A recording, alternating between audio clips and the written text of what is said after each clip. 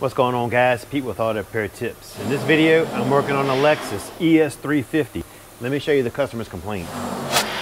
The check engine light came on and it had some misfires in it. And I went ahead and pulled the codes and it's got of course the P300 which is your random misfire. And it says number one cylinder is misfiring and number four cylinder is misfiring. Also has a P0351, which is your ignition primary coil secondary circuit.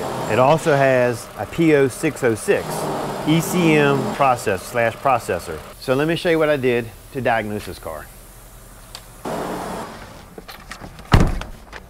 The first code I looked at was the P0606. And when I went to that code, it said that the O2 sensors weren't working correctly. So it's got four. This car has four O2 sensors, two up and two downstreams. So to check the O2 sensors, I let the car get to operating temperature. Then I pushed the gas up and down to cause a rich lean condition and make sure that the O2s are switching off and on. Bank 1 and Bank 2 should be pretty consistent up and down. There should be no readings that are really off. Let me show you what I did to check these O2 sensors. I started the car, I let it get nice and warm and get into closed loop. Once that happens, I went ahead and pulled up the O2s and if you look right here, Bank 1 sensor 1 is 1 to 0.9. Look over here, Bank 2 sensor 1 is 0.9, so they're reading about the same. Bank 1 on the volts is 3.2 volts, sensor 2 3.2 volts are the same. Go down to the bank one sensor two, that's 0.76 over here, 0.70. Go over here, O2, bank one sensor two on the ohms is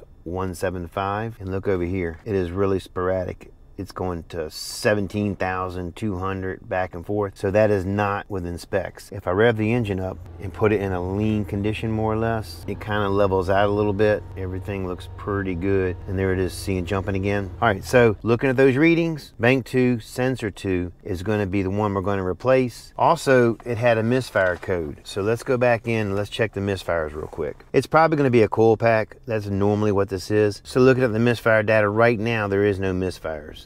Now I have seen it in the past where an O2 sensor will cause a misfire and cause running conditions. I've even seen an O2 sensor cause the car not to shift correctly in the transmission. O2 sensors play a big role in the operating system of your car. So I think the first thing I'm gonna do is just replace the O2 sensor, clear all the codes, take it for a long test drive and see what happens. All right guys, I'm gonna get some parts ordered. We'll get them on the car. I'm gonna show you where that O2 sensor is located and we'll go for our test drive. Catch you in a bit. All right guys, the new O2 sensor came. I measured out the length and made sure it was correct. They do make a special socket for it and it works kind of like this. The harness will sit in here like this. This is what it looks like. This one is pretty easy to get to. So there was no need to put a socket there. I fed the wrench through the harness, put it on there, took a hammer, gave it a love tap, and broke it loose that way. All right, before you put this O2 sensor on, make sure you take a little bit of the coating that's in here. It'll help the threads not to seize up in there. What's got me wondering now is, I see some already on the threads. So I'm almost wondering, did somebody already use this sensor and send it back as a defect, which has happened plenty of times with me. What we're gonna do is we're gonna go ahead and put a little bit more on it, stick it in, and we'll check the readings. All right, we got it good and tight. Before I put the connectors up, I'm gonna use a little bit of this dielectric grease just to help keep it from corroding. This one's dry, so I'm gonna put some in both of them. All right, guys, we're looking good. This is the sensor that was glitching. This is the one that was readings were really sporadic, all the way from like 100 to 19,000. And we're doing good. It is holding true. I've been watching it now for about, you know, a good 10 minutes, and we're looking good. All right guys, so right now I'm gonna disregard the misfire in the engine. I'm gonna go ahead and button it up, change the oil because he wants an oil change. Once I do that, I'm gonna take it for a test drive to make sure we don't have any engine coils misfiring, but I'm pretty sure the O2 sensor is gonna fix this problem. All right guys, that's it for this video. I appreciate you watching. Don't forget to like, subscribe, and leave a comment. Catch you later.